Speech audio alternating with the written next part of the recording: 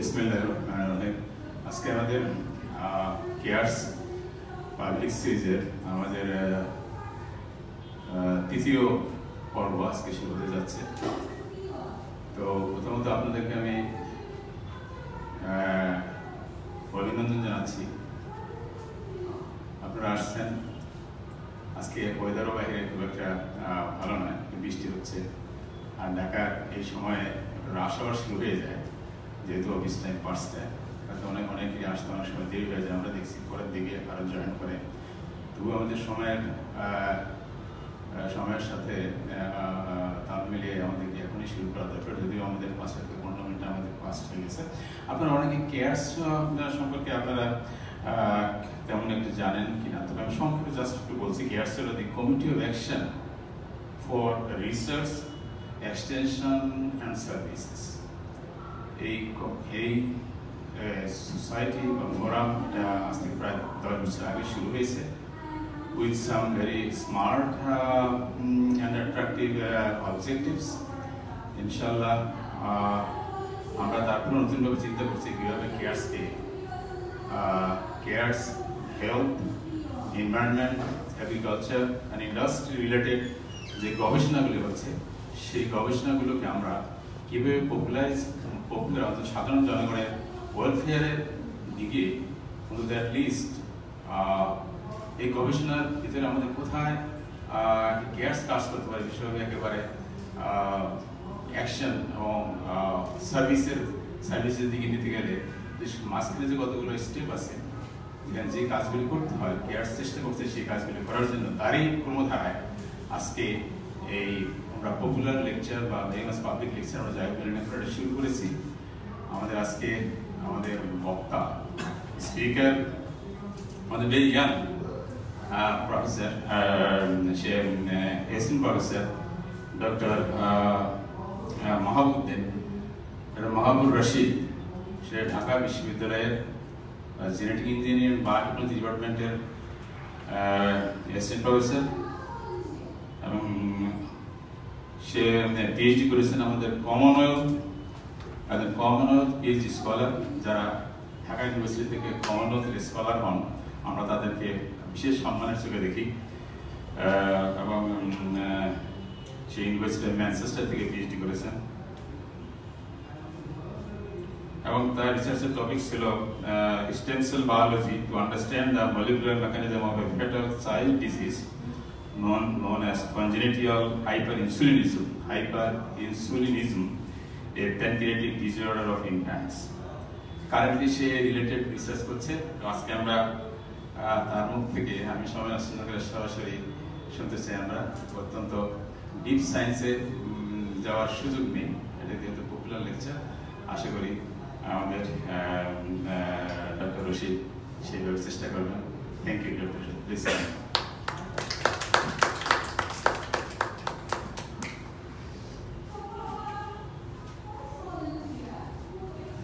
you sir আমাকে উপস্থাপিত করে দেওয়ার জন্য। আমার পরিচিত হয়েছে, আমি ঢাকা বিশ্ববিদ্যালয়ে পড়াই জেনেটিক ইঞ্জিনিয়ারিং ডিপার্টমেন্টে। সেই সাথে কিছু বলা যায় ছোট পরিসরে গবেষণা করার চেষ্টা করি। সো আমার গবেষণাটা মেনলি ডায়াবেটিস ফিল্ডে সেই সাথে ডিজিজটার নাম বলেছেন বাচ্চাদের একটা ডায়াবেটিস ঠিক ডায়াবেটিস না, এটাকে বলা হয় ডায়াবেটিস ঠিক অপোজিট একদম ওয়ান এইটি ডিগ্রি অপোজিট সেটা হচ্ছে কনজেনিটাল হাইপার ইনসুলিনিজম সেখানে একদিনের বাচ্চায় দেখা যাচ্ছে তার ইনসুলিন সিক্রেশন এত বেশি হচ্ছে যে কারণে সে মারা যাচ্ছে। কারণ বডিতে কোনো গ্লুজ থাকে না ব্লাডে গ্লুজ থাকে না, সেটার এফেক্ট ব্রেইনে এফেক্ট করে এবং যে কারণে বাচ্চাটা মারা যায়। সো আমার পিএইচডির কাজটা ছিল মেনলি এটার মেকানিজমটা বোঝানো এবং সেই অনুসারে একটা artificial model cell line develop করা, যেটা দিয়ে এই ডিজিজটা কেন হচ্ছে, তার মেকানিজমটা যেন আমরা ধরতে পারি। এইখানে ইনফ্যাক্ট আজকে আমি কথা বলছি ডায়াবেটিস নিয়ে সো একদম খুব বেসিক লেভেলের হয়তো আমাদের এখানে জানি না কোনো ডাক্তার আছেন কি না ভুল হলে আশা করি, ক্ষমা সুন্দর দেখা, দৃষ্টিতে দেখাটাই ভালো, কারণ যেহেতু আমি অত দেখতে যাব না যতটুকু নলেজ আমার কাছে আছে, আমি সেটা দেওয়ার চেষ্টা করছি। সো এখানে কোনো বড় সায়েন্সের মধ্যে আমি যাচ্ছি না। সো কমনলি বাংলাদেশে কি প্র্যাকটিস হচ্ছে, কিংবা ইন্টারন্যাশনাল কি ধরনের প্র্যাকটিস হচ্ছে, আমি অতটুকুতেই যাচ্ছি আচ্ছা। স্যার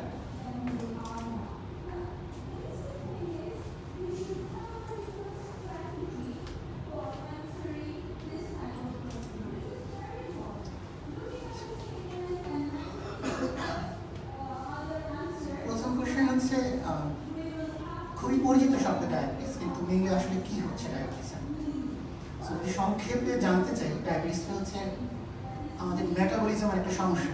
অর্থাৎ আমরা যখন কোনো খাবার খাচ্ছি, যে কোনো ধরনের খাবার, সেটা আমাদের বডিতে যে অবশ্যই সেটা মেটাবলাইজ হচ্ছে।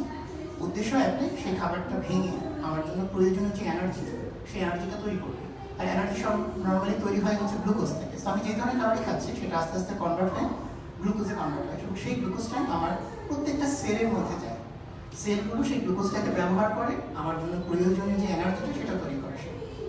সমস্যাটা হয় তখনই যখন আমার বডিতে এমন কোনো প্রবলেম হয় যে প্রবলেমের কারণে গ্লুকোজটা প্রপারলি সেলের মধ্যে যেতে পারছে না সো কোনো রকমের মেটাবলিজম হয় না। আমার জন্য প্রয়োজনীয় এনার্জিটাও তৈরি হচ্ছে। না। সেই কারণে বলা হচ্ছে যে ডায়াবেটিসটা হচ্ছে খুবই লং লাস্টিং বলা হয় একটা অনেক এটা থেকে কোনো কিওর নেই এই অর্থে। খুবই লং লাস্টিং একটা এফেক্ট যেটা আমাকে সারা জীবনই হয়তো বই নিয়ে বেড়াতে হবে যাদের হচ্ছে।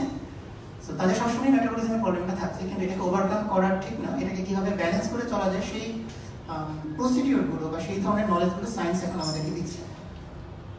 তো প্রবলেম যেটা বললাম যে যখনই আমার এই সুগারটা প্রসেস হচ্ছে না এনার্জিতে সো ব্লাডে রয়ে যাচ্ছে তো তার মানে ব্লাডে আমার গ্লুকোজ লেভেলটা বেড়ে যাচ্ছে। সেই অর্থে এটাকে বলা হচ্ছে হাইপার গ্লাইসেমিয়া ব্লাডের মধ্যে আমার গ্লুকোজ লেভেলটা বেশি থাকছে। এখন হচ্ছে কেন? তো যখন অ্যানালাইসিস হচ্ছে, দেখা যাচ্ছে এই ইনসুলিন বলে একটা কম্পাউন্ড আছে, বা যেটাকে বলা হচ্ছে হরমোন এই হরমোনটা তৈরি হয় আমাদের অগ্নাশয় বা প্যানক্রিয়াসের মধ্যে।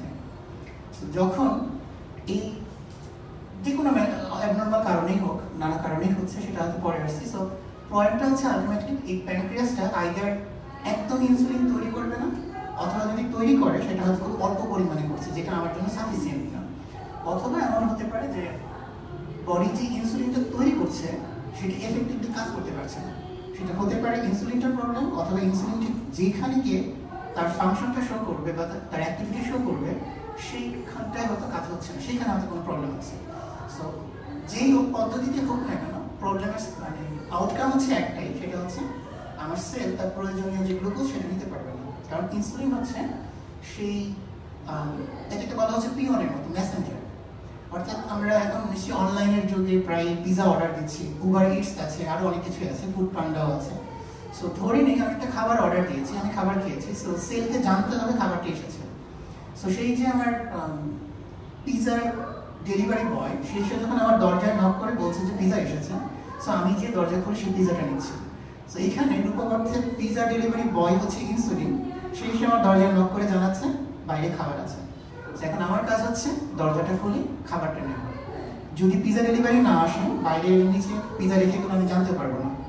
এবং সমস্যা হলে আমার দরজাতেও সমস্যা হয় পিজা ডেলিভারি বয়ও ঠিক আছে পিজাও এসেছে দরজা সমস্যা, আমার এখানে খাবারটা আসবে না।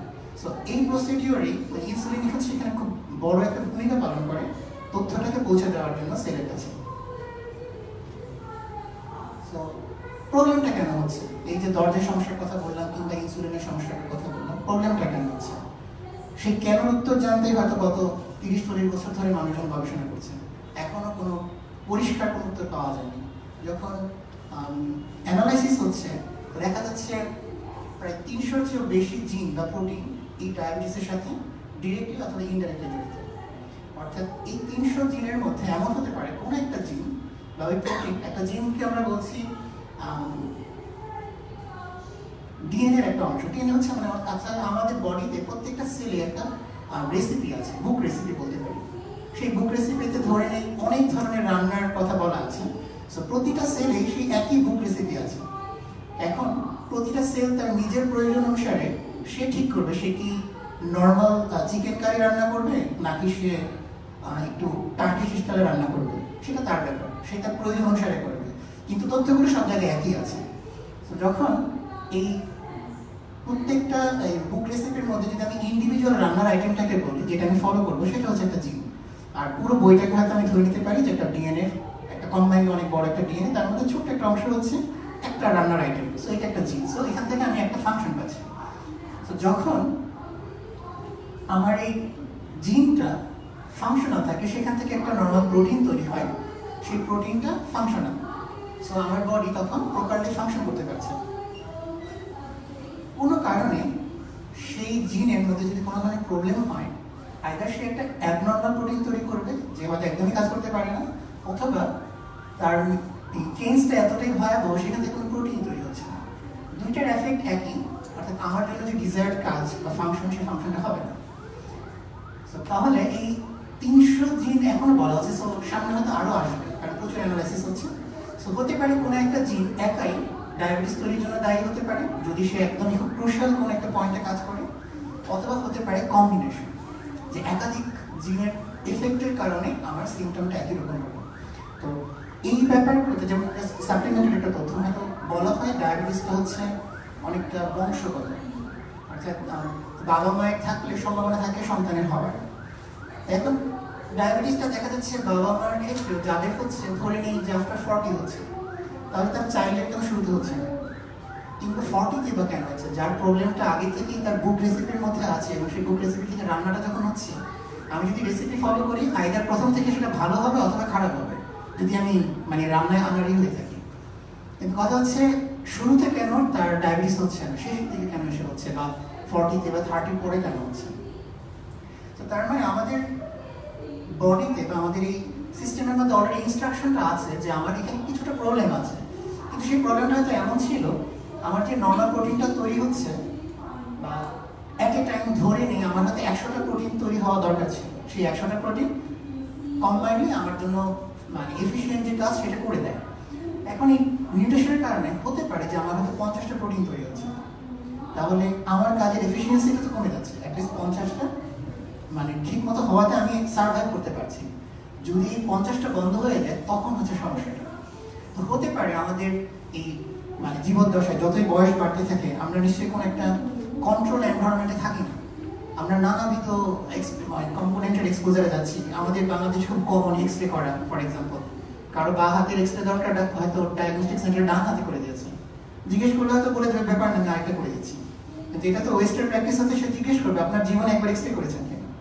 যদি বলে হ্যাঁ করেছেন তাহলে আপনার এক্স রে করবেন না কারণ এই রিস্কটা ওরা So, এ- যে কারণে বলছি যে আমরা নানা ধরনের এক্সপোজার হচ্ছি। আমরা খাবার খাচ্ছি এখন প্রচুর কার্সিনোজেনিক আমরা কথা বলছি। তার মানে আমাদের এত এত ফ্যাক্টর এখন জড়িত আছে, যে ফ্যাক্টরগুলো ইনডিউস করতেছে নতুন নতুন চেঞ্জ নিয়ে আসে।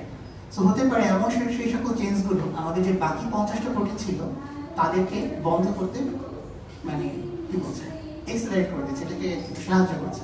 সো যার ফলে যদি বলি যে শুধু তিনশো জিন বা মোর দেন থ্রি হান্ড্রেড বা আরও জিন আসবে, এই জিনগুলো একাই আসলে দায়ী না।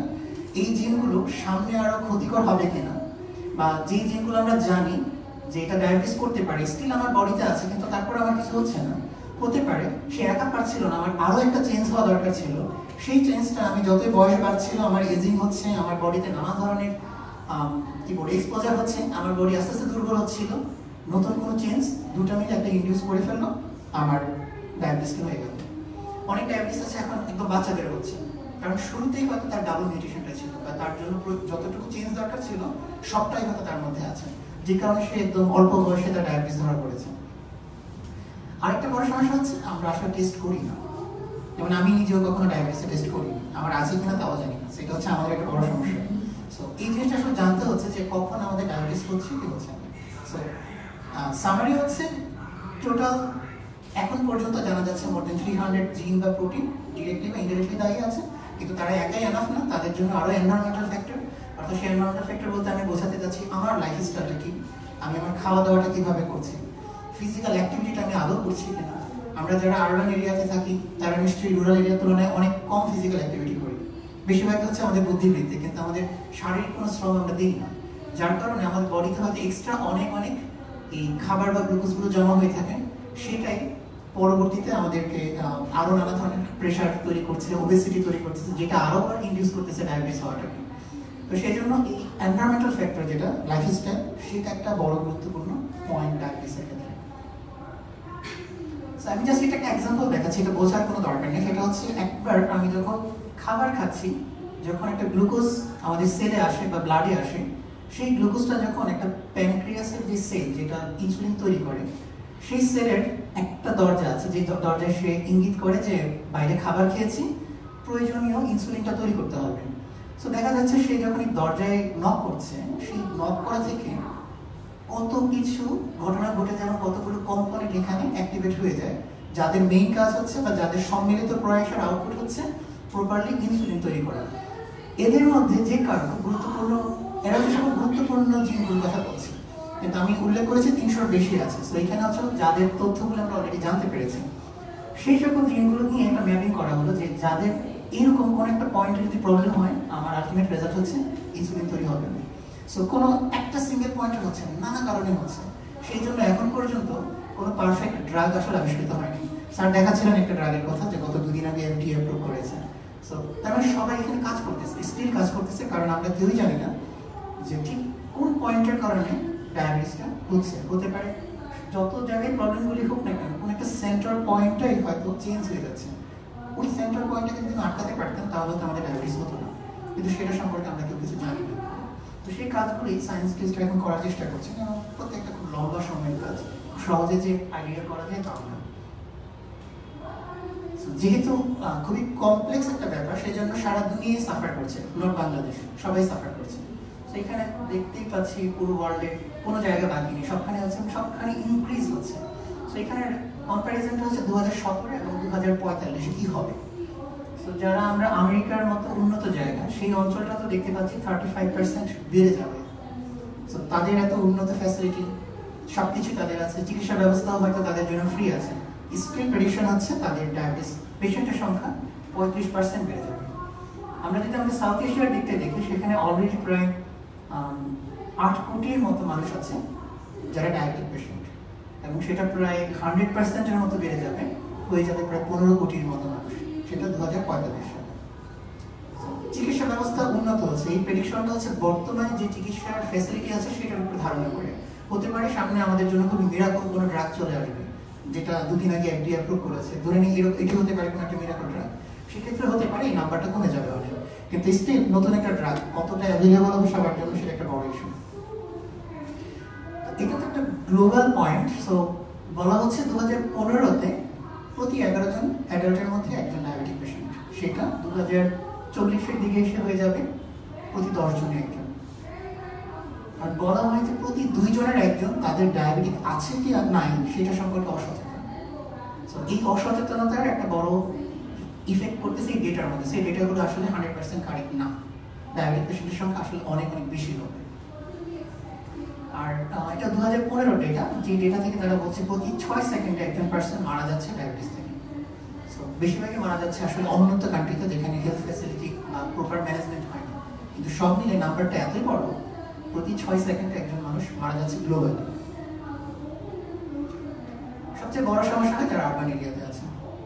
দু হাজার সতেরোতে তাদের যে অ্যানালাইসিস সেটা হচ্ছে প্রায় sixty six percent urban population হচ্ছে ডায়াবেটিসের মধ্যে আছে। অর্থাৎ টোটাল ডায়াবেটিসের যারা আরবানে থাকে, তারা হচ্ছে সিক্সটি সিক্স পার্সেন্ট সেটা সেভেন্টি ফাইভ পার্সেন্টে বেড়ে যাবে দু হাজার পঁয়তাল্লিশে এসে।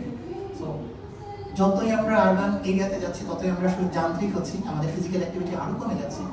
একটা সময় তো আমরা ঢাকাতে প্রচুর খেলার মাঠ ছিল এখন কোনো খেলার মাঠ নেই। সো এমন হতে পারে দু হাজার চল্লিশ লাগবে না, হয়তো দু হাজার পঁচিশে ফুল ঢাকা শহর হয়ে যাবে সিটি অফ ডায়াবেটিস কে জানে? এমন অ্যাক্টিভিটি নাই আমাদের, করার কোনো জায়গাও নেই। এই অ্যাক্টিভিটিগুলো প্রতিটা রাষ্ট্র বা প্রতিটা সিটি তারা মেনটেন করার চেষ্টা করে। আমরা যেহেতু অলরেডি জানি ঢাকা হচ্ছে বসবাসের অযোগ্য শহর এখানে হওয়ার আসলে কোনো সম্ভাবনা নেই। সো যদি আমরা, আমার টাইটেল যেমন বলা আছে প্রিভেনশন সো যদি সত্যি আমরা নিজেদেরকে ডায়াবেটিস থেকে বাঁচাতে চাই, মনে ঢাকা ছাড়তে হবে। ঢাকায় থাকলে আমরা কেউ ডায়াবেটিস থেকে মুক্ত হতে পারব না। সো বাংলাদেশের ডেটা পাওয়াটা খুব ডিফিকাল্ট কারণ সমস্যা হচ্ছে আমাদের কেউ কখনো ডাটা রাখে না। খুঁজে টুজে তাও ইন্টারন্যাশনাল ডেটা যারা আছে, যেমন ইন্টারন্যাশনাল ডায়াবেটিক ফেডারেশন তারা অনেক সময় বাংলাদেশের উপর স্টাডি করে। তো সেই স্টাডি থেকে সম্ভবত এটা দু সতেরো সালের ডেটা যেখানে বলছে বাংলাদেশে প্রায় সত্তর লাখের মতো ডায়াবেটিক পেশেন্ট আছে। এবং একই পরিমাণ হয়তো আরও সত্তর বা ষাট লাখের মতো আছে যারা সচেতন, তারা আনডিটেক্টেড তারা হয়তো ডায়াবেটিক পেশেন্ট কিন্তু আমরা জানি না তাদের সম্পর্কে। তো হিসাব করলে প্রায় পনেরো লাখের মতো আসলে বাংলাদেশে পনেরো লাখ না, দেড় কোটির মতো বাংলাদেশেই হয়তো ডায়াবেটিক পেশেন্ট পাওয়া যাবে দু হাজার পঁচিশ সালে এটা ডাবল হয়ে যাচ্ছে। সেটা বিকজ আমাদের লাইফ স্টাইলের কারণে সেই প্রেডিকশন হচ্ছে দু হাজার পঁচিশ, আর ছয় বছর। ছয় বছর পরে সংখ্যাটা ডাবল হয়ে যাবে। প্রতি দশ জনের মধ্যে মানে প্রতি দশ অ্যাডাল্টসের মধ্যে একজন হচ্ছে বাংলাদেশে অলরেডি ডিটেক্টেড তারা ডায়াবেটিক আর ডাব্লিউএইচও বলছে বাংলাদেশের পঁচিশ থেকে পঁয়ষট্টি বয়সে তিরাশি পার্সেন্ট পপুলেশন কখনোই ডায়াবেটিসকে চেক করে তাদের ডায়াবেটিস আছে যেটা বললাম আমি কখনো করিনি। So, আমি এই গ্রুপের মধ্যে বিলং করি। আর মনে হয় আমাদের এখানে অনেকে আছেন যারা কখনই করেন সো এই ব্যাপারটা হচ্ছে একটু মানে সতর্ক হওয়ার সময় যে হতেই পারে আমরা আগে থেকে কেন রেডি হই না? সো একটা মনে হয় না ব্লাড টেস্ট করতে খুব একটা বড় কোনো ইস্যু কিন্তু একবার যে আসলে দেখা উচিত সবার সো এই ডেটাটা বলছে যে আমাদের আসলে উপরে যে ডেটা আমরা দিচ্ছি সেই ডেটাটা আসলে পারফেক্ট না। কারণ আমরা যে বয়সটাতে ডায়াবেটিস হওয়ার সম্ভাবনা থাকে এটা এইটি থ্রি পার্সেন্টই আমরা বলছি যে আমরা কখনোই সচেতন না দু সালে বাংলাদেশ ছিল বিশ্বের সর্বোচ্চ নাম্বার অফ ডায়াবেটিক পেশেন্টের দিক থেকে আট নাম্বার সো ছোট দেশ, কিন্তু আমরা আট নাম্বারে ছিল আর দু হাজার পনেরো সালে আইসিডিডিআরবির তথ্য মতে, এক লক্ষ উনত্রিশ হাজার মানুষ ডায়াবেটিক কমপ্লিকেশনে মারা গেছে। সো নাম্বারটা কিন্তু অনেক কম সো কি হয় ডায়াবেটিসের ক্ষেত্রে? মানে কখন বুঝব যে আমাদের ডায়াবেটিসটা হচ্ছে? সো ডাক্তাররা মেজর তিনটা সিমটম দেখার চেষ্টা করে, যেটাকে তারা সংক্ষেপ করে থ্রি পি একটা হচ্ছে পলি ইউরিয়া বারবার ফ্রিকুয়েন্ট ইউরিনেশন হবে, হতে পারে পলিডিপসিয়া খুবই তৃষ্ণা পাবে কন্টিনিউয়াস পানি খেয়েছে, তাও তৃষ্ণা পাবে।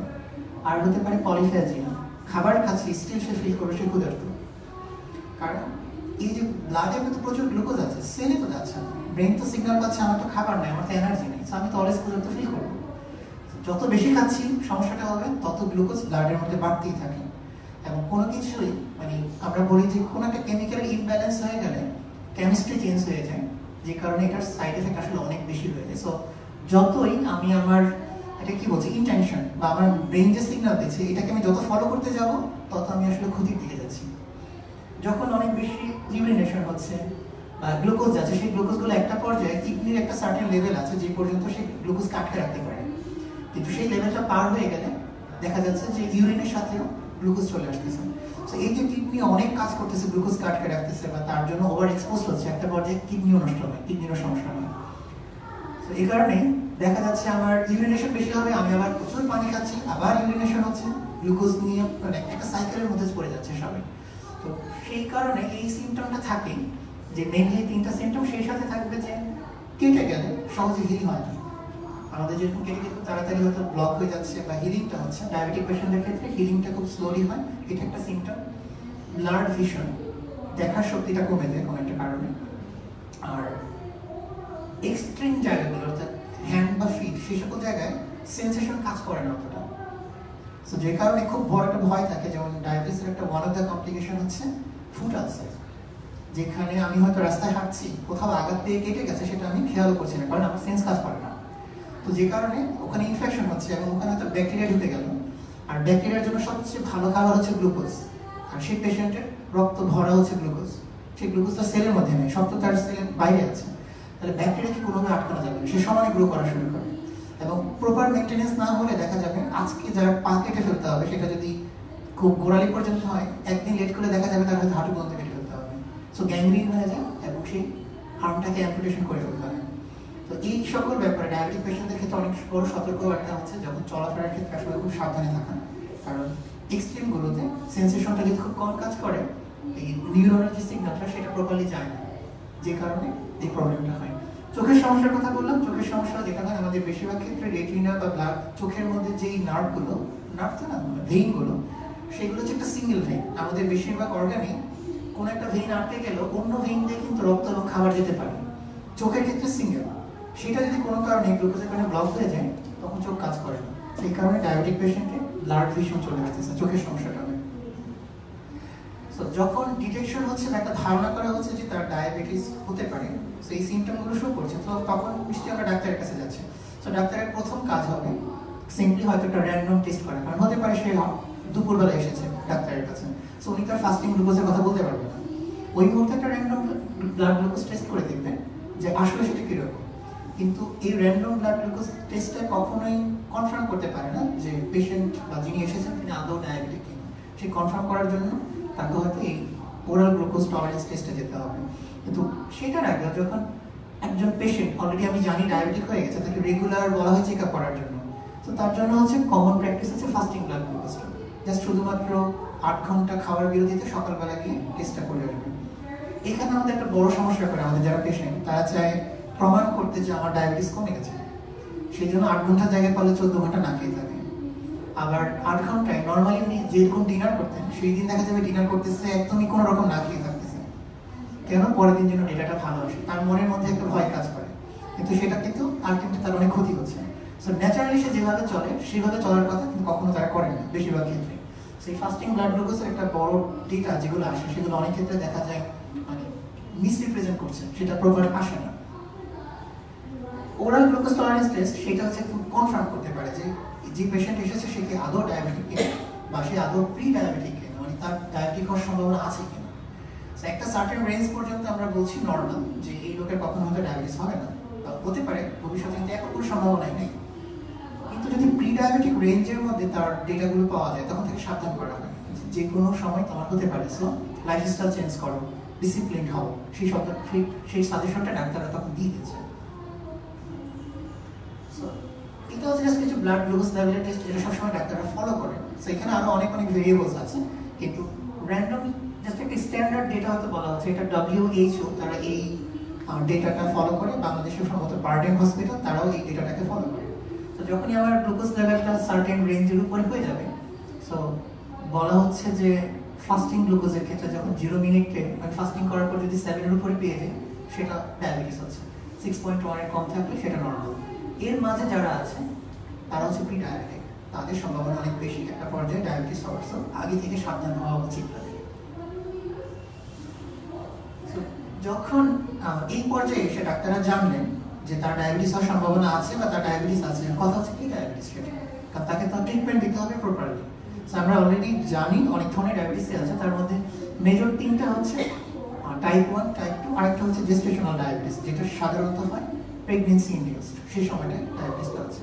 তো টাইপ ওয়ানের ক্ষেত্রে যে প্রবলেমটা হয়, সেটা প্যানক্রিয়াসের যে বিটা সেল ইনসুলিনটা তৈরি করে আইদার সে একদম তৈরি করতে পারে না। এটার একটা বড় কারণ হচ্ছে আমার ইমিউন সিস্টেম অর্থাৎ আমার বডির যে রোগ প্রতিরোধ ক্ষমতার যে ফাংশনাল সিস্টেমটা সেই সিস্টেমটা এই বিটা সেলকে ফরেন বডি মনে করে, বাইরের একটা সেল মনে করে। যার কারণে সেই বিটা সেলগুলোকে নষ্ট করে দেয় বা মেরে ফেলে বা এটাকে ফাংশনাল হতে দিচ্ছে না। তো আমার যে ইনসুলিনটা তৈরি হতে চাই সেটা তো আর হতে পারবে না। আর খুব বেশিরভাগ ক্ষেত্রে টাইপ ওয়ানের একদমই কোনো ইনসুলিন তৈরি হয় না, অথবা হলেও খুবই অল্প পরিমাণ, যেটা দিয়ে আসলে কোনো কাজ হয় না।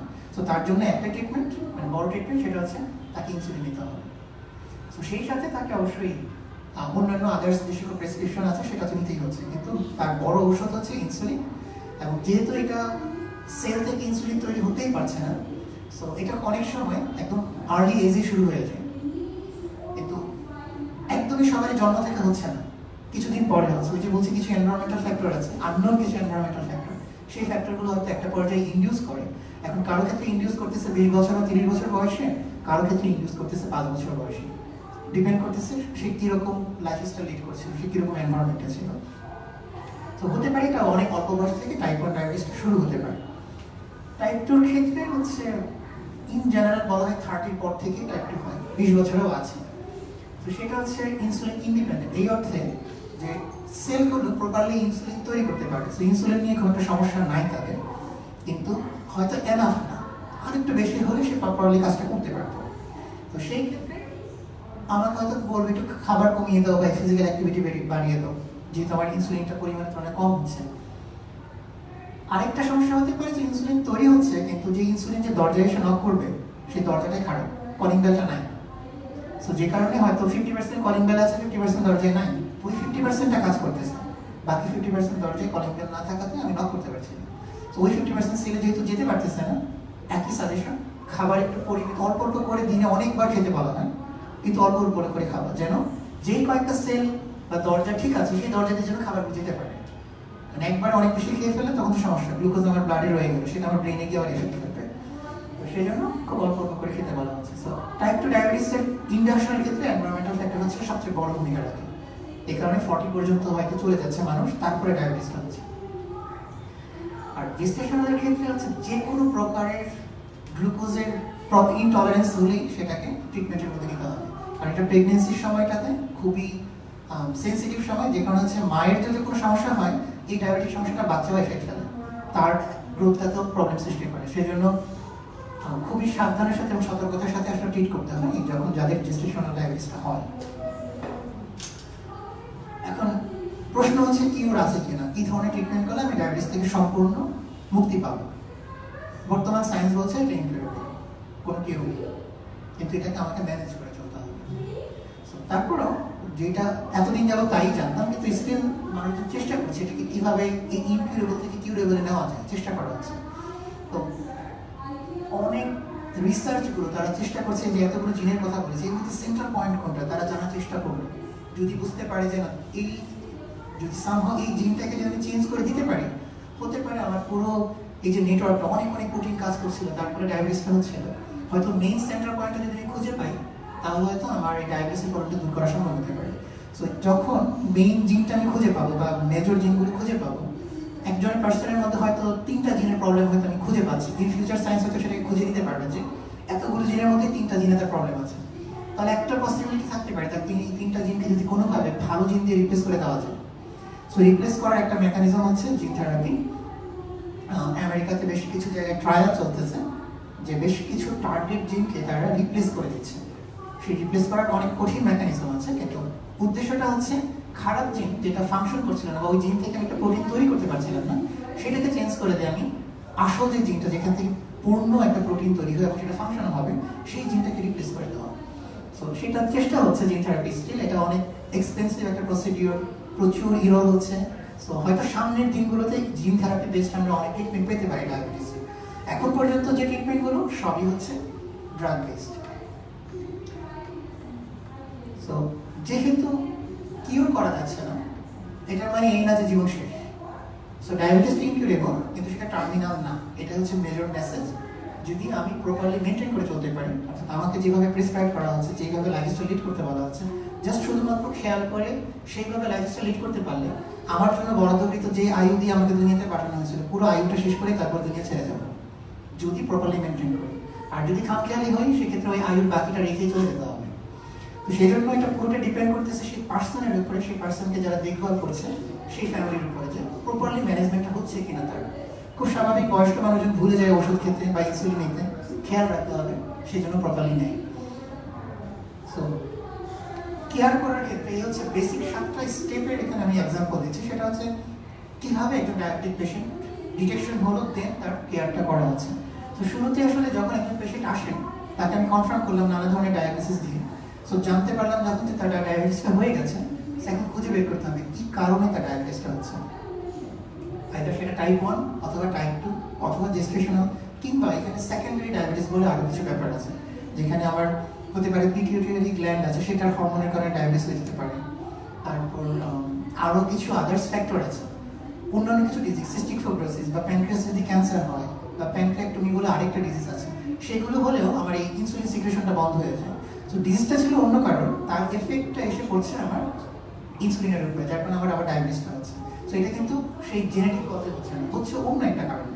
কিন্তু সিমটমের মানে সিমটমটা পাওয়ার পর আমাকে কিন্তু ওইভাবে প্রপারলি ট্রিটমেন্ট করতে হবে সো আমি একজন টাইপ টু ডায়াবেটিসের পেশেন্টকে নিশ্চয়ই টাইপ ওয়ানের মতো ট্রিট করব না। সো সেই ক্ষেত্রে সেকেন্ড ফ্যাক্টরটা সেকেন্ড পয়েন্টটা হচ্ছে খুবই ক্রুশাল আমাকে জানতে হবে পেশেন্টটা আসলে কী ধরনের পেশেন্ট যখন জানতে পারলাম, এবার আমাকে তৈরি করতে হবে তার জন্য ট্রিটমেন্ট প্ল্যান আমাকে বুঝতে হবে যে আমি কি করতে চাচ্ছি। সে হতে পারে একজন পার্সন হয়তো অনেক বেশি ওবেজ তাকে বলা হতে পারে যে আপনার ওয়েট কমাতে হবে। আদারওয়াইজ আপনার এই প্রবলেমটা বাড়তে থাকবে। সো তার ক্ষেত্রে এই মুহূর্তে গ্লুকোজ লেভেল কমানোর জন্য যে ড্রাগ সেটা দেওয়া ছাড়া তাকে হয়তো প্রেসক্রাইব করা হবে এই সকল ফিজিক্যাল এক্সারসাইজ কিংবা তার ডায়েট কন্ট্রোল করে দেওয়া হবে, যেন তার ওবেসিটিটা কমে যায়। কারও হার্টের সমস্যা থাকতে পারে কার্ডিয়াক সমস্যা থাকতে পারে, তার জন্য ডিফারেন্ট ট্রিটমেন্ট সো গণহারে কখনোই আসলে এক ধরনের ওষুধ দেওয়াটা ঠিক না। সো প্রত্যেকটা ডাক্তার চেষ্টা করে তার যে পেশেন্ট এসেছে পেশেন্টটাকে কাস্টমাইজ ওয়েতে ট্রিট করে। সেইভাবে তারা প্ল্যানিংটা দেয়। সো যখন আমার ট্রিটমেন্টটা ঠিক হয়ে গেল, এবার হচ্ছে ইনিশিয়েশন করা হলো ট্রিটমেন্টের দেন হচ্ছে এই ট্রিটমেন্টটা ফলপ্রসূ হচ্ছে কেন সেটাকে মনিটর করা। মনিটর করা হচ্ছে, যদি দেখা যায় কাজ হচ্ছে না, একটা ড্রাগ কাজ হচ্ছে না, অন্য একটা ড্রাগে চেঞ্জ করা, সেটা ডাক্তাররা কন্টিনিউয়াস মনিটর করছেন, নানা ধরনের টেস্ট দিচ্ছেন, দিয়ে কিন্তু চেঞ্জ করাচ্ছেন, যে হতে পারে ড্রাগটা কাজ করছে না। তো তার মানে আমাকে আসলে এই প্রত্যেকটা স্টেপে ডাক্তারের কথাগুলো শোনা উচিত। অনেকে হচ্ছে আমাদের যেটা কমন প্র্যাকটিস সেটা হচ্ছে আমরা এলাকার ওষুধের দোকানে চলে যাই। ওষুধের দোকান বলে দিচ্ছে যে, আমি ড্রাগের জন্য গিয়েছি। সে বলল, একই ধরনের ড্রাগ এটা কাছে একই কাজ করে, এটা ভালো পাওয়ার পাওয়ারফুল সো ডাক্তার যে আপনাকে চেঞ্জ করে দিয়েছে সেটা তো বুঝে চেঞ্জ করে দিয়েছে।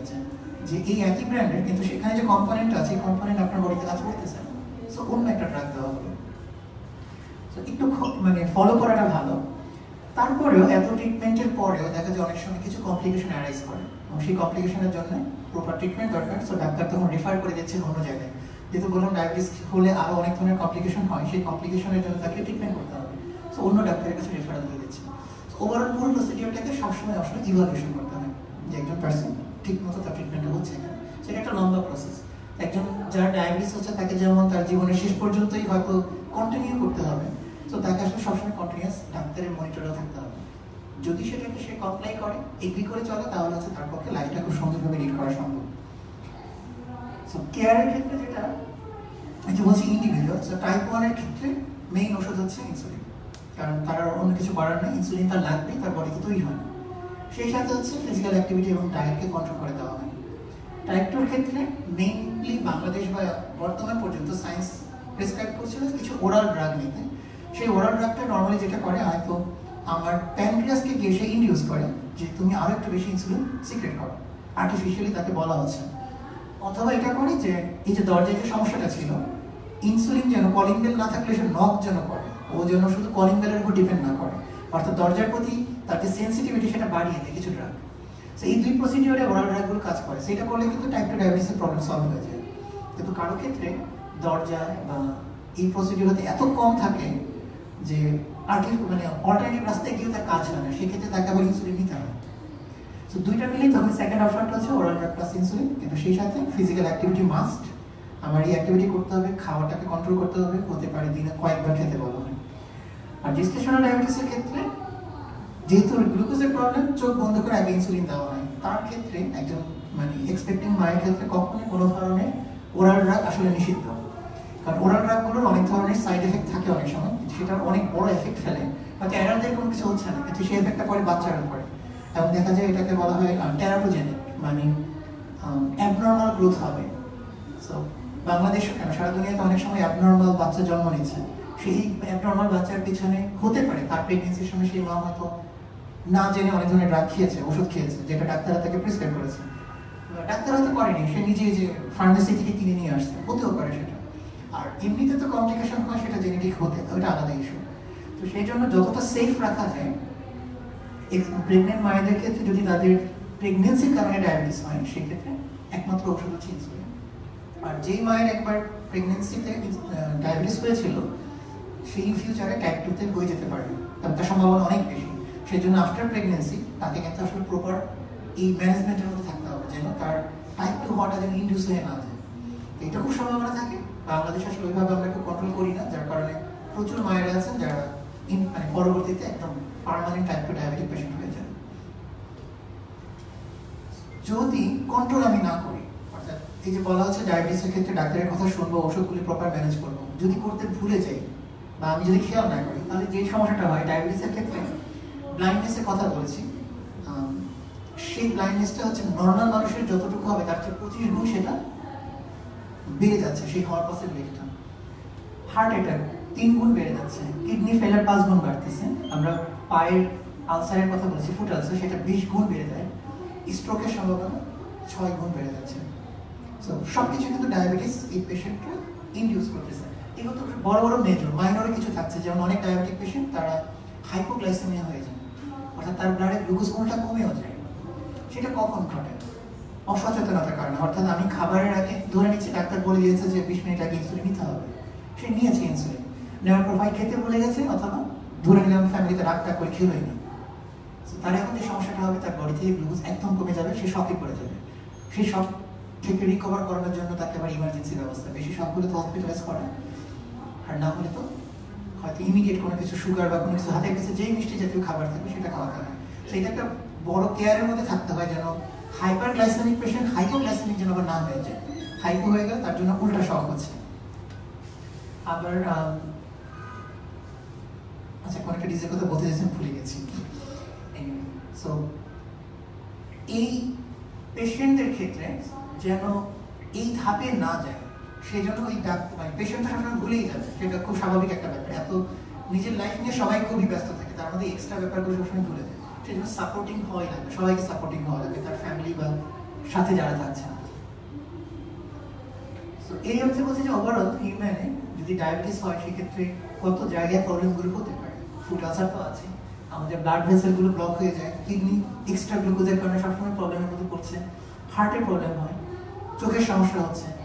নার্ভাস সিস্টেম মোটামুটি যেহেতু সেন্সেশন কাজ করতেছে না, আমাদের এক্সট্রিম অংশগুলো থেকে নার্ভাস সিগন্যাল ব্রেনে যায় না। সো যার কারণে নানা ধরনের এক্সট্রা প্রবলেমগুলো তৈরি হচ্ছে। প্রিভেনশনের উপায়। সো প্রিভেনশনের ক্ষেত্রে সবচেয়ে বড় কথা হচ্ছে, ডাক্তাররা যদি শব্দটা বলে থাকেন ফার্স্ট ক্লাস মেন্টালিটি এটা থাকা যাবে না। ফার্স্ট ক্লাস মেন্টালিটি মানে হচ্ছে খুব হাই এম্বিশিয়াস মানুষজন। সো ওইটা হওয়া ভালো, কিন্তু হচ্ছে মানে আমি টিপিক্যাল কোনো কাজ করতেছি না ফিজিক্যাল অ্যাক্টিভিটিগুলো নর্মাল সো আমি হেঁটে যাব না, রিক্সা লাগবে সিএনজি ছাড়া চলবো না। মানে বলা হয় একটি এলিট সমাজের মিমিক করার যে ব্যাপারটা, আমাদের ক্ষেত্রে হয় যে খুব সাধারণ পরিবার থেকে আসা ছেলেমেয়েরা যখন প্রাইভেট ইউনিভার্সিটিতে পড়ে, সে তার বন্ধুদের সাথে মিলাতে গিয়ে সে কিন্তু অনেক হাই সোসাইটির মতো সে মিমিক করে, যেটা তার ক্যাপাসিটি নাই, তার ফ্যামিলি হয়তো অ্যাফোর্ড করতে পারছে না, সেটা তারা করে। এখানে অনেক মানুষ আছেন যারা এই ধরনের ফার্স্ট ক্লাস মেন্টালিটি যেন শো করা না হয় যেখানে হাঁটতে হবে, হাঁটতেই হবে, গাড়ি ব্যবহার করা যাবে না। এই রেগুলার অ্যাক্টিভিটিটা খুব জরুরি। আর যেই তিনটা ডি এর কথা ডাক্তাররা সবসময় প্রেসক্রাইব করেন, সেটা হচ্ছে ডায়েট ড্রাগ আর হচ্ছে ডিসিপ্লিন সো ডায়েট তো ডাক্তাররা বলে দিচ্ছেন, কি খেতে হবে, কি খেতে হবে না।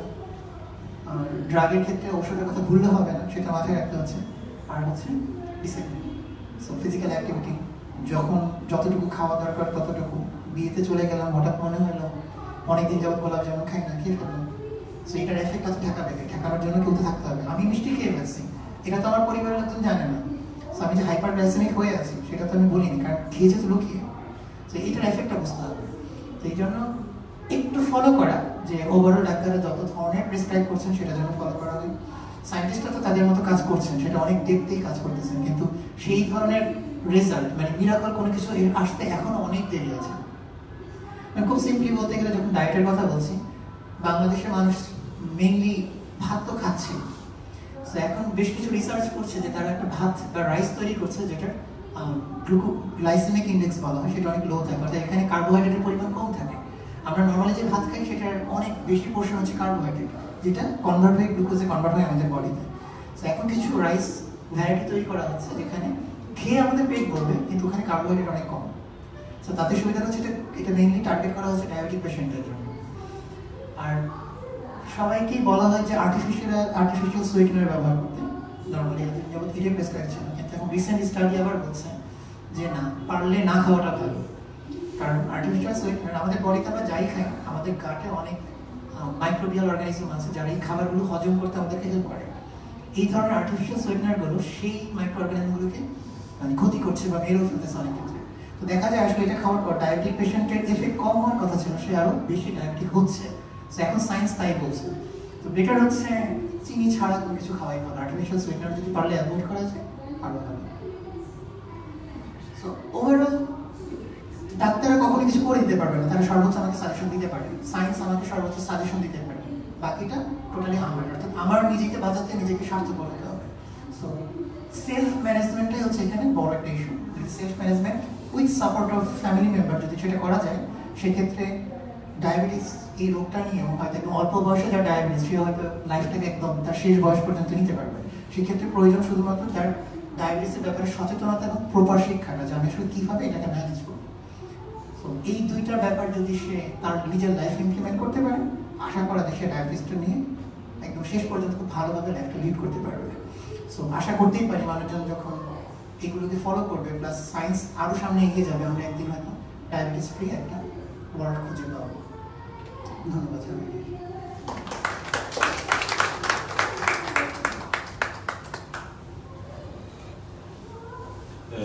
ধন্যবাদ। আমাদের স্পিকারকে অত্যন্ত সুন্দর আমি গতকাল থেকে বলছিলাম যে বাংলা ভাষায় কীভাবে সায়েন্টিস্টরা সুন্দরভাবে বলতে পারে।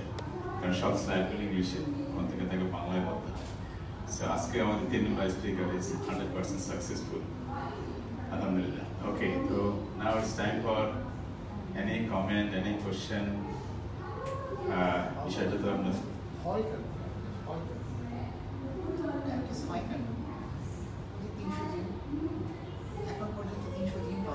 আপনার বডিতে বা আমার বডিতে হয়তো দশটা জিনের পাওয়া গেছে সেই দশটার বুস্টার এফেক্ট হয়তো ডায়াবেটিস হচ্ছে এখন আরেকটা যেটা বলছিলাম যে জিনের প্রবলেম হয়তো আছে কিন্তু সেটা হান্ড্রেড পার্সেন্ট আমাকে কোনো ডিজিজের দিকে নিয়ে যায়নি। যতক্ষণ আমি আমার এনভায়রনমেন্টাল ফ্যাক্টরটাকে কন্ট্রোল করছি। সো আমি যদি আমার খাওয়া দাওয়ার ব্যাপারে আগে থেকে খুব কনসিয়াস থাকি, আমার ফিজিক্যাল অ্যাক্টিভিটি যদি খুব ভালো থাকে, সেক্ষেত্রে হওয়ার সম্ভাবনাটা অনেক কম থাকে। কিন্তু হবে না কথা তো বলছে না প্রবাবিলিটিটা কমিয়ে দিচ্ছে। মানে পুরোটা ডিপেন্ড করছে আমরা আসলে কি করছি। So, আমরা যখন একটু ফ্রি সময় পাচ্ছি, চলে যাচ্ছি হয়তো স্টারে খুব রিচ ফুড খাচ্ছি। আর বাংলাদেশের বড় সমস্যা কি হচ্ছে, আমরা এত ধরনের ভেজাল খাচ্ছি। মানে কোন ভেজাল যে কি করছে আমাদের বডিতে আমরা কিছুই জানি না। সো বলাটা tough। এটার সাথে হচ্ছে না। এই যে বয়স বাড়ছে মানে আমাদের বডিতে অনেক কিছু চেঞ্জ হচ্ছে। আমাদের ব্রেনের সেলগুলো কমে যাচ্ছে। বলা হয় বয়সের সাথে সাথে আমাদের কেমিক্যাল রিয়েকশনে অনেক ধরনের অক্সিডাইজড কিছু ফর্ম তৈরি হয়, যেটা আমাদের বডিগুলোকে ড্যামেজ করে।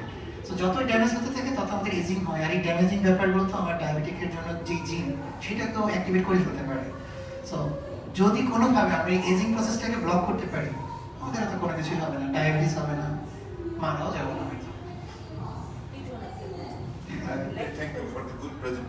আমার একটা প্রশ্ন বা কমেন্ট হতে পারে সেটা হচ্ছে যে ডায়াবেটিস টেস্ট করার জন্য আমরা এতকাল যেটা করে এসেছি তার মধ্যে কিন্তু কিছু পরিবর্তন এসেছে। এখন ইনসুলিন বলা না আমি ওই জায়গায় আসি প্রথম যেটা আমরা বলছি আমরা আসলে ফাস্টিং ব্লাড সুগার করতাম। বা যাকে সন্দেহ হচ্ছে, তাকে র্যান্ডমলি করা হচ্ছে এবং সন্দেহ হলে পারে তাকে বলা হচ্ছে, ঠিক আছে ভাই, আপনি আট ঘণ্টা না খেয়ে পরের দিন সকালবেলা যান। বেশিরভাগ ক্ষেত্রে সে লেফ্রাইট করে অথবা না খেয়ে আট ঘণ্টা পরে যাচ্ছে এবং একটা ফলস আসছে। এই জন্য আমরা এখান থেকে সরে এসেছি।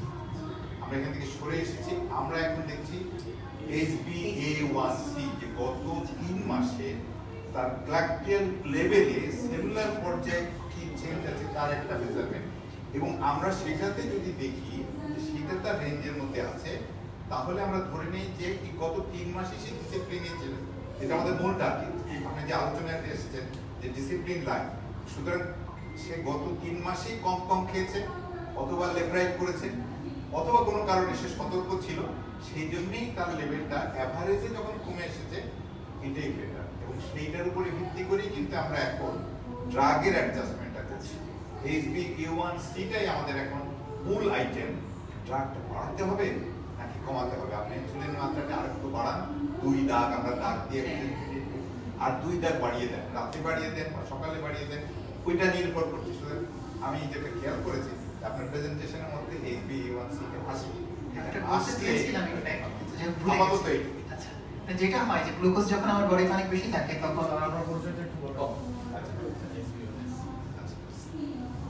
ভুল হয়ে গেছে। আমার পরিচয়টা আগে দেওয়া উচিত ছিল। আমি জন হপকিন্স ইউনিভার্সিটির বাংলাদেশ কাউন্টার পট অফিসে কাজ করি। এটার Bangladesh center for communication program আমরা মূলত এই জাতীয় কাজগুলোই করি হেলথ কমিউনিকেশন আমি বেসিক্যালি মেডিকেল ডক্টর বাট আমার স্পেশালিটি হল হেলথ কমিউনিকেশন এবং ঠিক এই মুহূর্তে আমি নন কমিউনিকেবল ডিজিজ কন্ট্রোলের জন্য যে কমিউনিকেশন স্ট্র্যাটেজিটা হবে, সেই স্ট্র্যাটেজির জন্য কাজ করছি। আগামী ছ মাসের মধ্যে তৈরি হয়ে যাবে।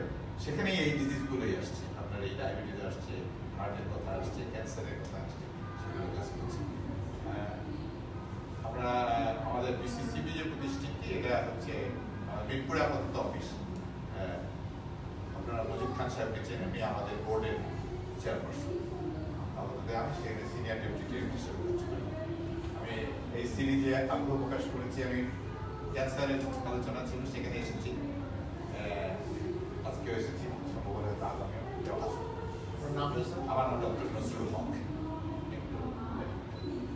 আমার আরেকটা প্রশ্ন করতে আমরা খাওয়ার খাওয়াটা কি সুগার আর আমাদের রিজিয়নের মেইন ফুড কার্বোহাইড্রেট কার্বোহাইড্রেটটা আসলে সুগার দিয়ে তৈরি সো কার্বোহাইড্রেটটা ভেঙে সুগারে কনভার্ট হয় সো ইনফ্যাক্ট আমরা অ্যামাইনো অ্যাসিড বা প্রোটিন খাই বা ফ্যাট যেটাই খাচ্ছি একটা পর্যায়ে এনার্জি মলিকুলেই যাচ্ছে। কিন্তু আমাদের মেইন খাবারটা যেহেতু কার্বোহাইড্রেট এবং সেটা তৈরি হচ্ছে সুগার মলিকুলগুলো কম্বাইন হতে হতে যেটা ভেঙে সুগারটাই হচ্ছে। যত কার্বোহাইড্রেট কম খাওয়া যায় হয়তো সেটা সাপোর্টিভ হবে। আসলে কি?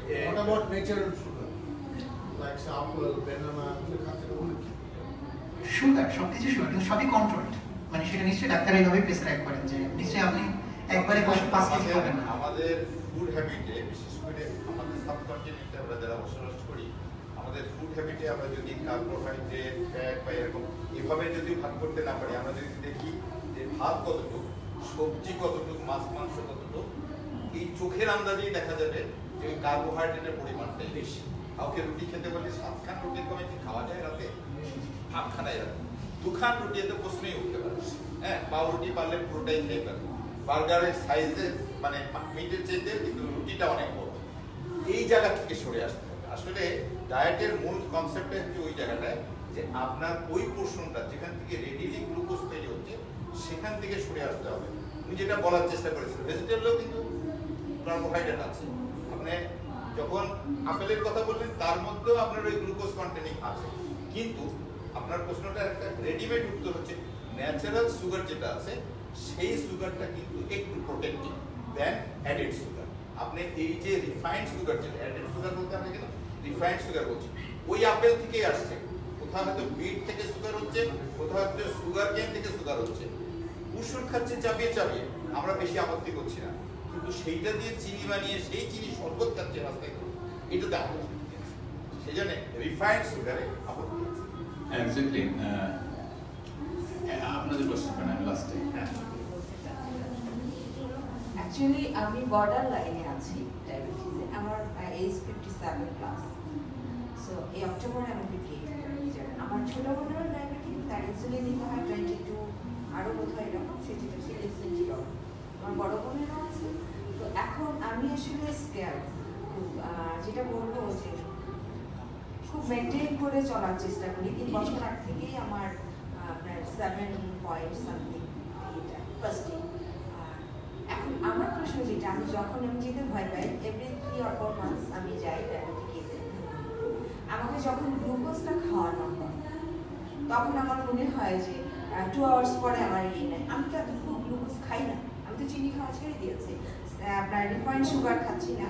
আমি হয়তো কোনো প্রোগ্রামে গেলে একটু বেশি একটা রোস্ট খাই, একটু হাই ডায়েট আমাকে তারপরের দিন গিয়ে আমি টেস্টটা করাই। হোস্টেল যেহেতু আমি একটু হ্যাঁ ক্যালোরি খেয়েছি রাতে হয়তো অক্সিজেন ক্লাবের একটা প্রোগ্রামে আমি গিয়ে ওখানে কিন্তু আমার কথা হলো যখন আমাকে গ্লুকোজটা খাওয়ানো হচ্ছে দু ঘণ্টা পর তো এটা তো আমার ডায়াবেটিক হয়ে যাওয়ার পসিবিলিটি বেশি। ওই যে ওনার ওনাকে আমি একটু অ্যাটেনশন। যে আমাকে কেন দু ঘণ্টা মানে দু ঘণ্টা আগে আমাকে কিন্তু আপনার টলারেন্সটা টেস্ট করছে। আপনার বডি গ্লুকোজটা কীভাবে নিতে পারছে কিনা এটা জাস্ট টেস্টের জন্য দরকার কিন্তু এই বডির এফেক্টটা হচ্ছে না। এই অল্প সময়ের জন্য আপনার কোনো বডির এফেক্ট হচ্ছে শুধুমাত্র দেখতে চাচ্ছে যে যতটুকু গ্লুকোজ আপনার বডিতে কনজিউম হওয়ার কথা হচ্ছে কিনা। যদি না হয়ে থাকে ব্লাডে কতটুকু রয়ে গেল সেই অনুসারে আপনাকে পরবর্তীতে সাজেশন দেবে যে আপনার এটা আমার জন্য তেমন একটা হার্মফুল না। না তাহলে টেস্টটা হতো না আরেকটা কোশ্চেন আমার যেটা আছে যে আমাদের পেশেন্টদের যেমন ফিরদৌস প্রিয়ভাষিনী আমার একজন পছন্দের লোক ছিল ওনাকে যখন উনি স্পেশাল কেয়ারে ছিলেন হসপিটালে ওনাকে সকালবেলা নাস্তা দিতেন হলো আপনার ব্রেড দুই দুটো স্লাইস দিতেন বেশ বড় বড়। আমি যতটুকু জানি এটার মধ্যে তো অনেক সুগার এগ অনেক কিছু আছে। সুগারটাই বেশি আছে। এই যে আমাদের যে পেশেন্টদের এই এগুলো দেয় স্পেশাল কেবিনে স্পেশাল প্লাস আমার ছেলেকে আমার হাজব্যান্ড বলছেন যে "এ, তোমার ডায়াবেটিস হওয়ার আগ পর্যন্ত তুমি সুগার খাও কিছু হবে না মিষ্টি খাও কিছু হবে না। এইটা এই কোশ্চেন আমার এখানে যে এই ও থার্টিন প্লাস এরকম। তো ওকে এখন থেকে যদি আমি কন্ট্রোল করে তাকে সুগারি ফুডগুলো খাওয়াই এতে কি তার ডায়াবেটিকের এটা পসিবিলিটিটা কম হবে? কাছে কি খুব মিষ্টি খেতে চায়। আছে। এখন যদি তার ফর এক্সাম্পল আমরা যদি টেস্ট করি না যদি এমন হয় যে টেস্ট করার পরে দেখা যাচ্ছে তার টাইপ ওয়ান বা টাইপ টু কোনো কিছু নাই সো একটা সার্টেন এজ পর্যন্ত তার তো প্রপার ডেভেলপমেন্ট দরকার। সো এইটু খাবার তো তাকে দিতে হবে। প্রথম থেকে কন্ট্রোল করলে তো তার নারিশমেন্ট হবে না। হ্যাঁ, মানে সবই হতে পারে কিন্তু কন্ট্রোল মানে আপনি যেটা হয় কন্টিনিউস মিষ্টি খেয়ে যাচ্ছে সো যারা ডায়াবেটিস হওয়ার কথা না সে জোর করে ডায়াবেটিস নিয়ে আসবে তার মধ্যে। কি দরকার? সো সার্টেন লিমিট পর্যন্ত সবকিছুই। So, এখন ভালো প্রেসক্রিপশন ডাক্তারাই ভালো জানবেন। what about the effect of wheat?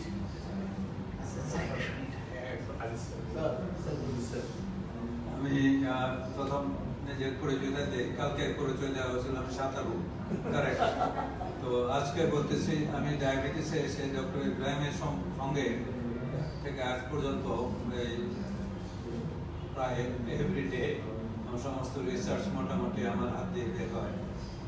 তারপরেও বলি যে আমি নিজে একজন ডায়াবেটিক এবং খুবই মিসবিহেভিং ডায়াবেটিস এটা বড় শত্রু। এর মধ্যে গুড একটা খবর হলো, আমরা অনেক সময় ডায়াবেটিক অ্যাসোসিয়েশন থেকে প্রত্যেক বছর কিছু অ্যাওয়ার্ড দিই। তাদেরকে দেই যে নাকি ডায়াবেটিস সেন্টারে বা নেটওয়ার্কে রেজিস্টার্ড ডায়াবেটিক এবং পঞ্চাশ বছর যাবৎ ডায়াবেটিক এবং তাকে হাতে ধরে স্টেজে উঠানো হয়, একটা মেডাল করে দেওয়া হয়। সবার হাতে তালে দেওয়া এরকম বহু লোক আছে ডায়াবেটিক নিয়ে চল্লিশ, পঞ্চাশ, ষাট বছর যাবৎ they're living a healthy life তো জানা সত্ত্বেও আমি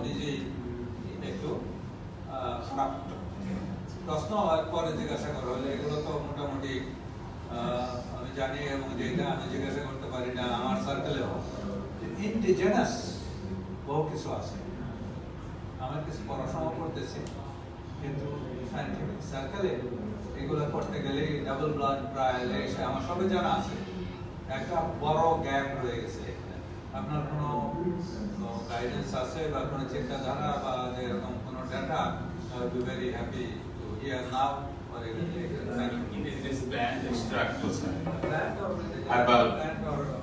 something like spirulina. Spirulina, Plant yeah, plant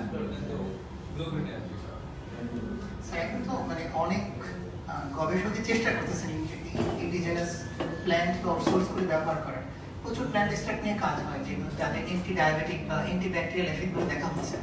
বাংলাদেশে একটা বড় সমস্যা যেটা হয়, অনেক প্ল্যান্টের এই অ্যান্টি ডায়াবেটিক গুণগুলো পাওয়া যাচ্ছে। সমস্যা হয় ওইখানে রিসার্চের কারণে থেমে যায়। এক হতে পারে ফান্ডিং নেই, আরেকটা হতে পারে আমি জানলাম এই প্ল্যান্ট এক্সট্রাক্টের মধ্যে অ্যান্টি ডায়াবেটিক এফেক্ট আছে। কিন্তু এই এক্সট্রাক্টের মধ্যে ঠিক কোন কম্পাউন্ডটা আছে, এটা আইসোলেট করা কিন্তু অনেক বড় একটা ম্যাসিভ কাজ। এবং অনেক ইনস্ট্রুমেন্ট অনেক ফান্ডিং দরকার পড়ে। যখন এটা থাকে না, আমার ধারণা আমাদের গবেষক ওখানে আটকে গিয়ে আবার নতুন প্ল্যান খোঁজা শুরু করেন। স্যার ভালো বলতে পারবেন এই ব্যাপারটা। আমি জানি না, আমরা হয়তো আমাদের দেশে হয়তো রিসার্চের আর এন ডির একটা লিমিটেশন আছে, কিন্তু আই নো আদার কান্ট্রি পাকিস্তানে একটা রিসার্চ ইনস্টিটিউট আছে ওইগুলোর নাম জানি কি বলতে আদার রহমান। আমি I have visited that center I have seen so many drugs from herbal sources এই মুহূর্তে আমি ডায়াবেটিকের তাদের কীরকম ডেভেলপমেন্ট আমি জানি না। তো we can learn from other countries whether they have got some very effective component from the herbal or some plant sources. That is one of the good thing. Problem is with herbal and plants and many of them, I, I, I, I- I got some extract effective against uh, uh, diabetic or controlling diabetic. But the thing is that to large scale এটাকে drug লেভেলে large স্কেলে commercial লেভেলে এটাকে extract করে large লেভেলে তৈরি করার যে স্টেপ এবং initiative this is just in Bangladesh missing আমি আগামীকালে কথা বলে বলব আমার প্রেজেন্টেশনে যে মিসিং পয়েন্ট আমাদের কেন আমাদের একটা লার্জ স্কেলে আমরা অনেক রিসার্চ আর এন্ড আমরা দেখছি না।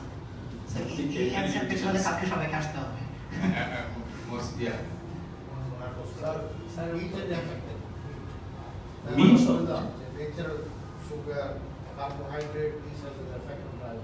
But what about the উনি বলতে উনি বলল আগে আর তারপরে আমি সাপোর্ট করব। মিট হোক বা যেটাই হোক মানে অ্যান্সার একটাই কিন্তু। মিটে প্রোটিন যেমন আছে আমার কার্বোহাইড্রেট আছে।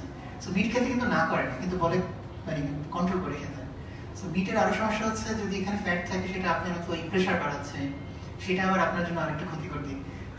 ওই রেড মিটের সাইড এফেক্টগুলোকে মিনিমাইজ করার হয়তো সব মিলে বলতেছে একটু কম কম করে খান। স্যার আপনি ফল খান আর মিট খান। গরু খান আর ছাগল খান সবার মধ্যেই কিন্তু কার্বোহাইড্রেট আছে। হ্যাঁ সবার মধ্যেই। কার্বোহাইড্রেট আছে। এখন আপনি যদি বললাম যে ঠিক আছে আমাকে তো আধা কেজির ভাত খেতাম আগে এখন আধা কেজির ভাত বন্ধ করে দেওয়া হয়েছে এখন আমি একটা কোয়ার্টার কেজির মাংস তো খাই। এই যে আপনি খাচ্ছেন এইটা কিন্তু আপনার ঘুরে ফিরে অন্য জায়গায় এফেক্ট করতেছে যাতে আপনার ডায়াবেটিস হবার প্রবণতাটা বেড়ে যাচ্ছে। সেই জন্যে আমি শুরুতে যেটা বলেছিলাম যে এই যে প্লেটের চার তিনটা ভাগ যে আপনার কার্বোহাইড্রেট সোর্স ভেজিটেবল সাইড এবং আপনার প্রোটিন সাইড এইটার মধ্যে ব্যালেন্স করতে হবে উইথ ইউর লিভিং স্ট্যান্ডার্ড আপনি কীভাবে কি লাইফটা মেনটেন করতেছেন same speech can't for the footballer একজন ক্রিকেট খেলছে একজন ফুটবল খেলছে আপনি আমার মতো লোকজন চব্বিশ ঘণ্টার মধ্যে ষোলো ঘণ্টা জেগে থাকলে তার আট ঘন্টায় আছে কম্পিউটারের সাথে বা মোবাইলের সাথে। প্রত্যেকের জন্য আলাদা আলাদা। ফিজিক্যাল অ্যাক্টিভিটি আপনার আগে যেরকম ফিজিক্যাল অ্যাক্টিভিটি ছিল হচ্ছে, sometimes they are of the doctors. Because some doctors say, don't take the egg with the yellow. I can guarantee you, হ্যাঁ? I can guarantee you, ডিম আপনি কুসুম সহ খান কি না খান কিচ্ছু যায় কিচ্ছু? আমি সপ্তাহে সাত দিন খাই আমি খাচ্ছি। চারটা বেশি খাওয়া যায় থ্যাংক ইউ আমি খাচ্ছি থ্যাংক ইউ কালকে আসবেন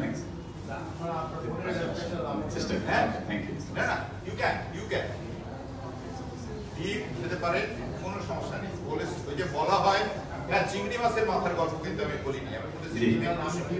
ডিমের কুসুমে আপনি কুসুম সহ খান কুসুম ছাড়া খান কিচ্ছু যায় আসে এনি আদার কোশ্চেন প্লিজ আমাদের একটু হ্যাঁ, আমারও ওই কোয়েশ্চেন ছিল যেটা অলরেডি ডিসকাস হয়ে গেছে যে হার্বাল রেমেডি যেগুলো আপনি ইন্ডিজিনাস প্লান্টের কথা যে বলছেন কেন জানি দেখেছি যে মেডিকেল ফিল্ডে ওরা ইগনোর করে। দ্য সায়েন্টিস্ট দ্য রিসার্চার্স যারা মেডিকেল প্র্যাকটিশনার আছেন অ্যালোপ্যাথিক মেডিসিন যারা ইয়ে করে দে আউটরাইট রিজেক্টেড আমার অনেক ডক্টর ফ্রেন্ডস আছে ওদের সঙ্গে অনেক সময় আমি ডিসকাস করি যে এই গাছে এই গুণাবলী আছে। ইটস ন্যাচুরাল থাকতেই পারে। মেবি আমি হয়তো এক্সট্রাক্ট করে মেডিসিন বানাচ্ছি না। বাট আমি যদি এটা রস বানিয়ে যদি খাচ্ছি I am getting individual at home treatment like for example যে ইদানিং একটা is a good approach. The home treatment, I mean, is it try to uh, ex- try to develop, try to extract জিনিস কি? আমার মনে হয় personal ইয়ে বলছি আচ্ছা করেছেন? আমি আমরা বিষয়ে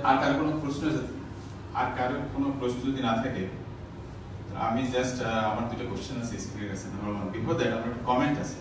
আপনার আমাদের দেশে, উনি তার ইন্ডেক্সে দেখেছে বাংলাদেশে খুব র্যাপিডলি বাংলাদেশের রেট ইনসিডেন্স রেট বেড়ে যাবে next two zero two five তার ভিতরে আমরা কেন পারব অনেক পয়েন্ট আমাদের তার ভিতরে ক্ষেত্রে আমাদের দেশে আমরা চিন্তা করেছেন যে আমরা ঘর থেকে বেরিয়ে আমরা রিক্সা পেয়ে যাই। ভেরি ইজি ট্রান্সপোর্ট আর যদি আমরা রিক্সাতে না থাকতে কি হতো? আমাকে হেঁটে অ্যাটলিস্ট পাশে যদি বাস স্টপ আপনাকে যেতে হতো। বিদেশে যেটা আছে, ওখানে বাস স্টপে যেতে হয়, অথবা সাবওয়ে পর্যন্ত যেতে হয়।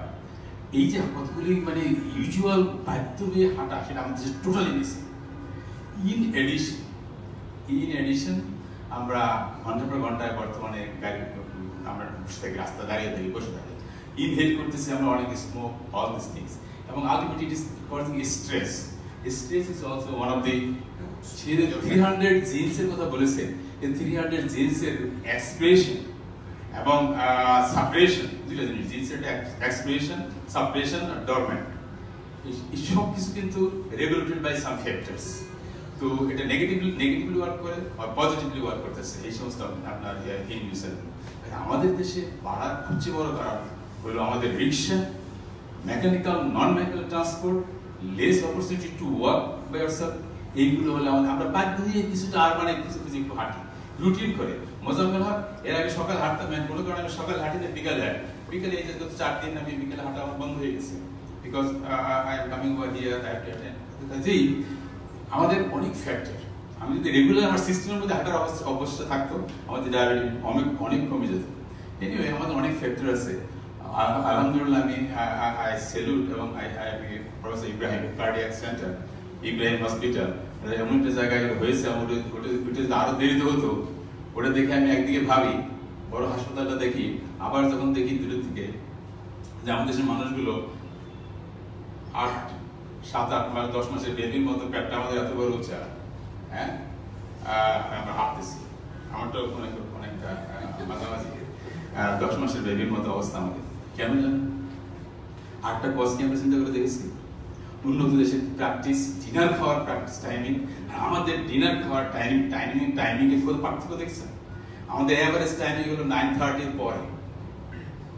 আর উন্নত দেশের ডিনার টাইম হলো আপনার বাই এইট ম্যাক্সিমাম অথচ দেখেন আমাদের কতগুলি custom system so negative so negative এগুলো থেকে আমরা বেরিয়ে আসতে পারছি না।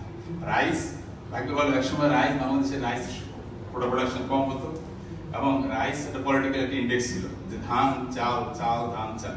ফর্চুনেটলি রাইস প্রোডাকশন এখন বেড়েছে। কিন্তু খাওয়ার ভিতরেও আমরা রাইসকে অ্যাক্সেস করতে পারতাম। আমার যদি বলি যে আমরা পটেটো খাব পটেটো খাওয়ার জন্য আমাদের আর্মির, এর আগে একটা তার একটা অত্যন্ত পজিটিভ কথা বলেছিল। কিন্তু it was that was other criticised in the year 2007 or so. But that's a good thing.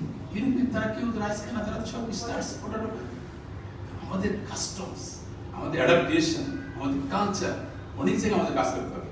আমরা কেয়ারসের আমাদের আমরা শেষ করছি কারণ আমাদের টাইম পিছনে আমাদের আছেন আমাদের কেয়ারসের চেয়ারম্যান রহমান ভাই আপনি হ্যালো এক মিনিট জাস্ট আপনি চেয়ারম্যান পিছন করে দেওয়া হবে না। ব্যস্ত ছিলেন আসছেন। জাস্ট জাস্ট ওয়ান মিনিট শেষ করে আজকে আমরা থ্যাঙ্কস আপনি দিয়ে এ, শেষ করে হ্যাঁ, শেষ তো করতেই হবে। আমি খুব সুবিধাজনক স্থানে বসছিলাম কারণ আমার মূল উদ্দেশ্য ছিল যে হিন্দি শিখি এবং যে চারটা আমরা যে সিরিজ করছি ধন্যবাদ তো কাকে প্রথমে এত সুন্দরভাবে যে উপস্থাপন করল, এত টেকনিক্যাল টার্মগুলো বাদ দিয়ে, বাদ পড়েছে কিন্তু কিছু। আমার কিছু অসম্পূর্ণ একটা ফিলিং কিন্তু রয়ে গেছে। স্যার অসম্পূর্ণ ফিলিং রয়ে গেছে ক্যাশের ক্যাশে আমরা শুরু করেছি। সেটা এভাবে, এটা মানে যে অসম্পূর্ণ থেকে যাচ্ছে সেগুলো আমরা আবার চেষ্টা করব পরে করার জন্য। এটা ধন্যবাদের আপনি আপনার পরে আমি এক দশকদের দিয়ে দিয়ে আসি দিতে আসি। বাইরে বেশ আবহাওয়া খারাপ আজকে আর আমাদের এখানকার মানুষ কিন্তু সব ফার্স্ট ক্লাস মেন্টালিটি তো তার মধ্যে আমরা বৃষ্টির মধ্যে যারা এসেছি। আর আরও বেশি ধন্যবাদ জানাই আমি যারা আমাদের ওয়েবে দেখছেন এটা we are online we are online আমি খুব দুঃখিত আপনাদের কাছে একটা জিনিসের জন্য যে এখন পর্যন্ত আমাদের টেকনিক্যাল টিম কোনো অনলাইন কোশ্চেনের ব্যবস্থা করতে পারেনি। এখন প্রায় প্রায় তিনশো লোক এখন অনলাইন আছেন যেটা আপাতত দৃষ্টিতে এখানে মনে হচ্ছে তিরিশ জন মাত্র আমরা দর্শক। কিন্তু ভাবু এটা অনেক মানুষ শুনেছেন আরও শুনবেন ওয়েবসাইটে যাবে। আর আজকে এখানে যারা, আমি যাদের মুখ চিনি না, তাদেরকে আমি একটু বলে দেখি। যে আমি ঘটনাক্রমে, দুর্ঘটনাক্রমে যে কেয়ার আজকে অনুষ্ঠান করছে committee of advancement of research and extension services সেটা আমি আপাতত চেয়ারম্যান এবং আজকে সামনের দিকে যারা বসছেন মোটামুটি এক্সিকিউটিভ কমিটি সবাই বসছেন এবং এরা আপনারা তাদের নাম বললেই কিংবা তাদের পজিশন বললেই সবাই সবাইকে আপনি চিনবেন। Wonderful team. Thank you for being with and and uh, and continue to be here. আমি এর পরের বিষয়টা মনে করছি আপনার সঙ্গে আমি আলাপ করব আলাদা করে ভালো করে ডিসকাসিতে আলাপ করব। কিন্তু বলে রাখি পরে আমাদের অনুষ্ঠানগুলো একটা সাবজেক্ট করা উচিত এজিং এজিং শুধুমাত্র বয়স বাড়ার জন্য। যে প্রশ্নগুলো আসছিল আমাদের যে দেখা যাচ্ছে যে ডায়াবেটিস কেন হচ্ছে ওখান থেকে হার্ট অ্যাটাকে চলে যাচ্ছে আমরা একমাত্র সবচেয়ে বড় মৃত্যুর কারণ এই ঘটনার গল্প যে মাইক্রোফোন গল্প হতে পারে না।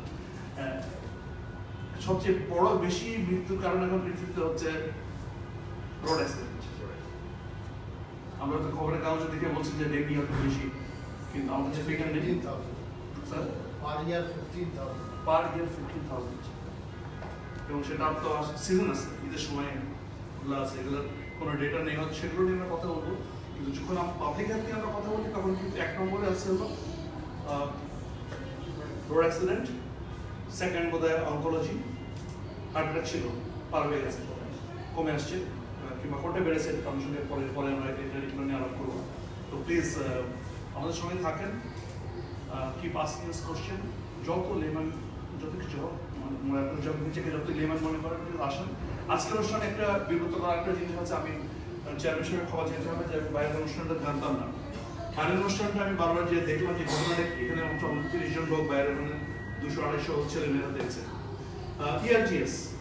ইংরেজি কীভাবে বলতে হয়, কীভাবে পরীক্ষা দিতে হয়, কীভাবে লিখতে হয়। কিন্তু আই অ্যাসিউর ইউ আমরা তো বয়সে ওই জিনিসটা পার হয়ে এসেছি, এখানে আমরা কীভাবে এক্সপ্রেস করতে হয়